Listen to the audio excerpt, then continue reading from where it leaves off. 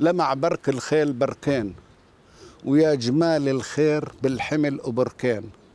تحياتي من أهل بركين لكل من زارونا من الأحباب.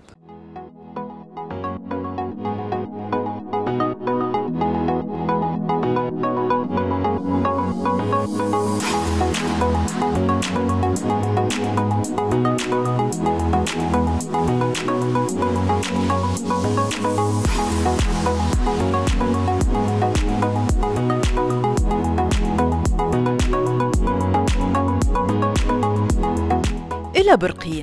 بلدة ساحلية بفصلها عن أراضي الداخل المحتل سهول خضراء.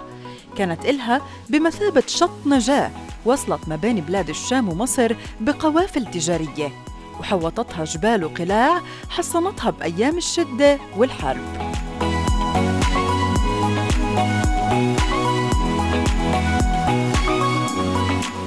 أستاذ محمد أهلا وسهلا فيك معنا بمشوار فلسطين ضمن حلوة يا دنيا.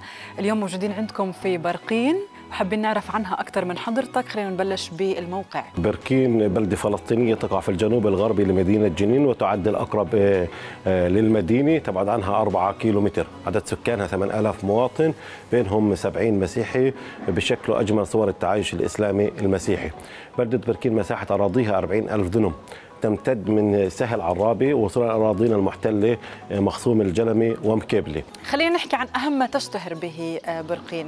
بالإضافة لاشتهارها بالزراعه تشتهر بوجود الأماكن التاريخية آه، والدينية منها كني رابع أقدم كنيسة في العالم كنيسة القديس جورجيوس واللي هي الخوخل المكان اللي إحنا موجودين به ومقام الشيخ سبع. قصر جرار بعود للزمن التركي وهو كان أحد المنازل لعوض آغا جرار كان يسكنه. ورممناه واليوم هو عبارة عن مزار. ليش سموه الخوخة؟ الخوخة هو اسم تركي يعني الباب الكبير داخل الباب الصغير ويعني القوة. القوة إذا طلعنا على الباب الصغير والباب الكبير رايحين نشوف المعلم هذا. اليوم مسألة الخوخة هو مركز ثقافي سياحي آه، تراثي حاضر في بركين بكل نشاطاتها.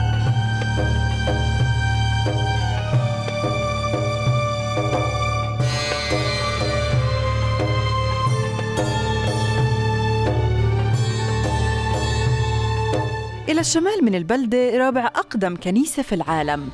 اسمها مرتبط بمعجزة الشفاء من البرص. فيها أثار ودلالات على عظمة مكانتها الدينية.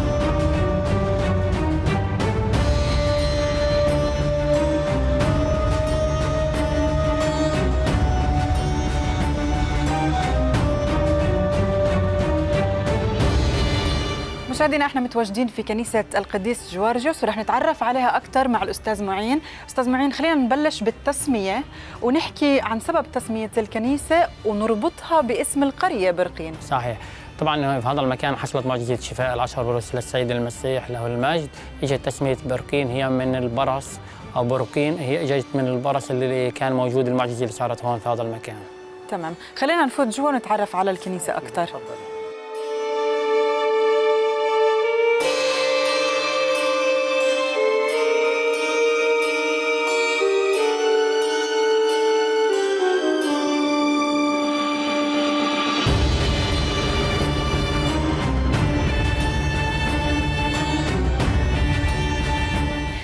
متواجدين في النقطة اللي موجود فيها البير الروماني واللي يقال إن المعجزة حصلت فيه.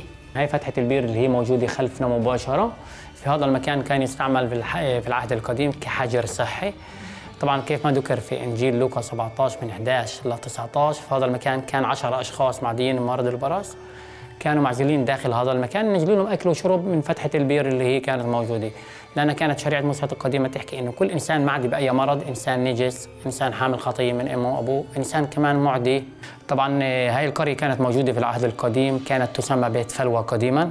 ثم أطلق عليها بورسين نسبة لانتشار مرض البرص. حتى اليوم هي تسمية بركين هي من البرق اللي كان موجود على جسم الناس الموجودين في هذا المكان. طبعا السيد المسيح اجى شفاهم العشرة داخل هذا المكان اللي إحنا موجودين فيه. كيف ما ذكر في إنجيل لوقا هم عشرة تسعة منهم عبرانيين وواحد كان سامري اللي هو وصف السيد المسيح في الأجنبي. طبعا العشرة شفيوا التسعه العبرانيين انبسطوا ضلهم رايحين. السامر الوحيد اللي قدر إنه السيد المسيح شفى رجع شكره داخل هذا المكان اللي إحنا موجودين فيه.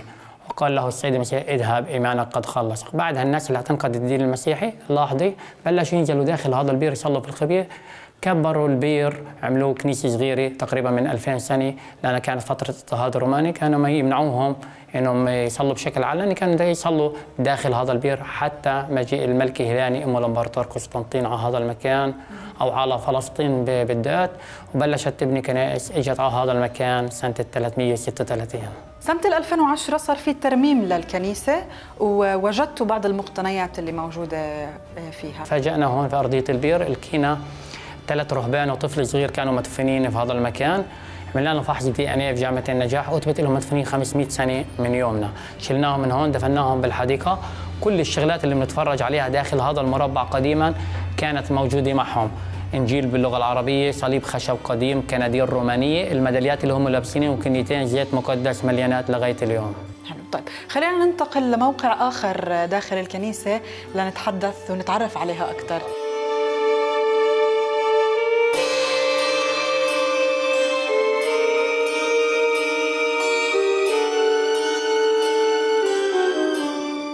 احكي لنا عن النقطة اللي موجودين فيها إحنا هذا كرسي البطرق. صحيح. كرسي البطرق الوحيد بفلسطين الوحيد في الأماكن المقدسة المصنوع من الحجر بعود إلى سنة 336 إيه، طبعا في العالم فيش منه الاثنين الكرسي الموجود حاليا هون وكرسي ثاني موجود في سوريا في معلولة. وباقي الكنائس كلياتها خشب. كذلك الأمر لاحظي هون كمان جدار كرسي الأقداس إيه، بعود إلى سنة 800 ميلادي وبقى ما تغيرش عليه ولا أي شيء.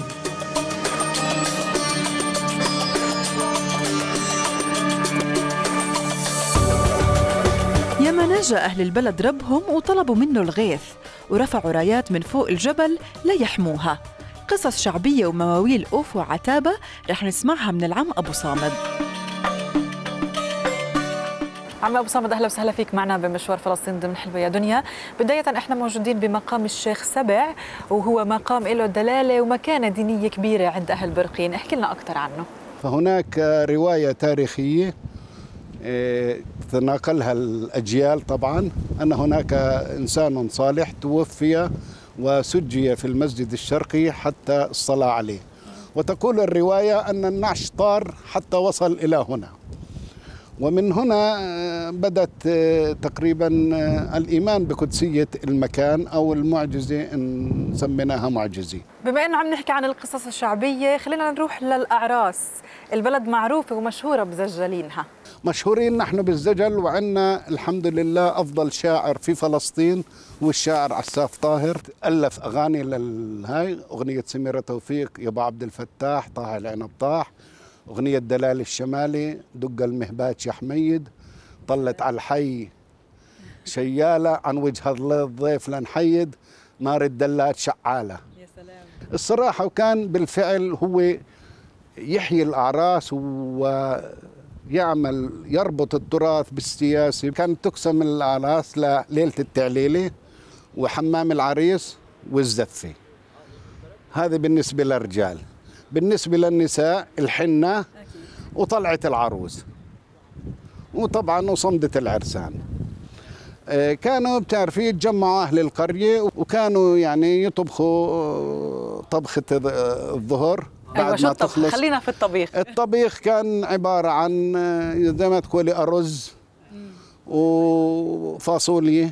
ما كانش في منسف هذيك الأيام؟ لا ما كان في منسف كان في لبن ورز عندنا إحنا يطبخوا لبن ورز وكل النساء اللي عندهم أغنام وعندهم لبن كانوا يتبرعوا تبرع لأصحاب ال- لأهل العريس وبعدين تدور المحاورة الزجليه مثل ال- بين الشاعرين عن القلم والسيف عن آه، الحما والكنة عن السمره. أجينا للمهم.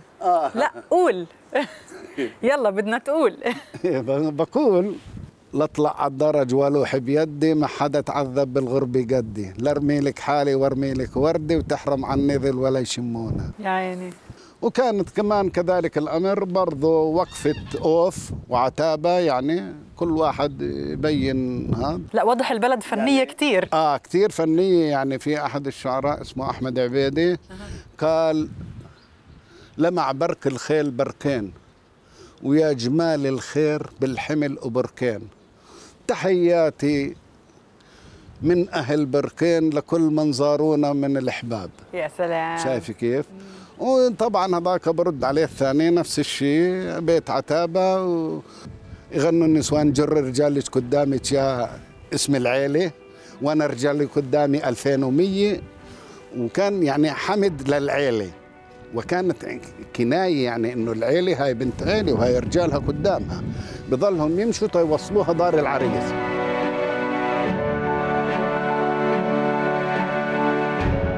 وبآخر المشوار رسالة حملنا إياها أبو صامد في بيت شعر لبرقين بيوصف جمالها. برقين يا أجمل صورة بتخطر على البال. يا غنية مسحورة من فوق تلال. حفافها خضرة وحليانة ويا محلى الجو. لو تقصدها بزيارة يا عاشق لو. تلقى سواد العيون والشعر شلال. عشمال شوي كنيسة صيتها مشهور. لو تقصدها بزيارة ترجع مبهور. جاها المسيح ومن وجهه شاع النور. شفى المرض منها ورفع الإذلال. لحلوة يا دنيا. لما أبو هلال من بلدة برقين.